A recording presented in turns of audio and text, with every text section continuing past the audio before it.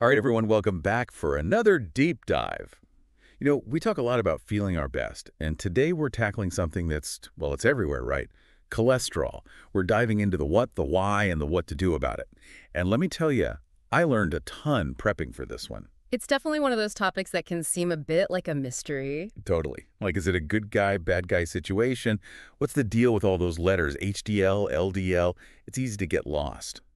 So, to help us break it down, we've got a fantastic expert with us today. Happy to be here. Cholesterol is definitely worth understanding because when you get down to it, it's really about protecting your heart, your brain, your overall well-being. It's not just a number on a page. That's what I kept thinking as I was reading through all this info. Like, okay, numbers are one thing, but what's the story behind them? So, first things first, and this surprised me, our bodies actually need cholesterol to function. It's not inherently this big bad villain. It's true. It's easy to get caught up in the cholesterol is bad narrative, but it's actually essential. So help me out here. What's the deal? Why do we need it? Think of cholesterol like um, building blocks, like the bricks and mortar of our cells. You know, that waxy substance they always talk about. It helps our cells hold their shape, and it's crucial for them to communicate with each other. It's kind of like, I don't know, the foundation of our cells. Exactly. It's all about structure and communication. Now, here's the thing. Our bodies are pretty amazing.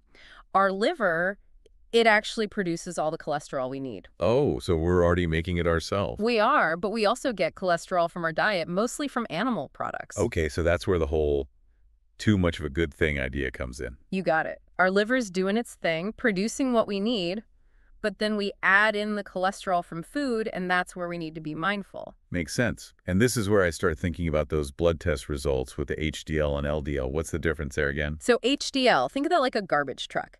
It picks up the excess cholesterol in your blood and takes it back to the liver. Okay, so it's like the cleanup crew. Exactly. Now, LDL, that's more like a delivery truck. It carries cholesterol to different parts of the body. And that's the one that can cause problems if there's too much. Right.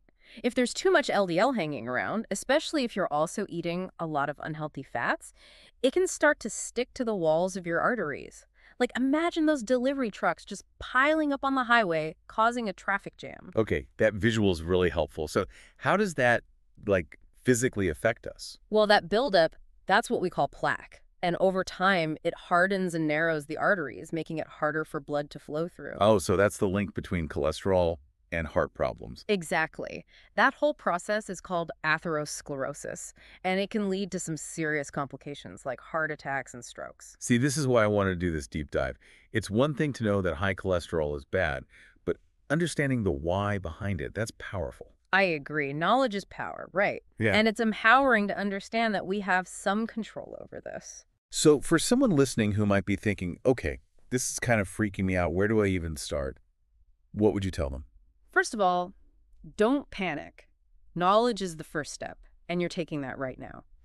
The most important thing is to talk to your doctor. Get your cholesterol checked, understand your numbers, and then work together on a plan. And that plan could involve It often starts with lifestyle changes, things like diet and exercise. Depending on your individual situation, medication might also be an option. But again, that's a conversation to have with your doctor. Okay, that's really good advice. Now, I have one last question for you, and this is something that came up as I was reading through all the research.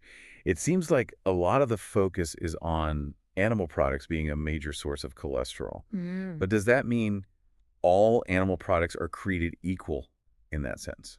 That's a great question. And honestly, it's a bit of a rabbit hole. There's a lot of debate about different types of fats, different ways of raising animals. It gets complicated quickly. So it sounds like something worth exploring further.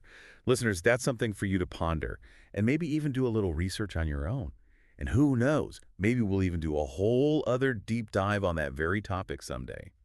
But for now, that's all the time we have.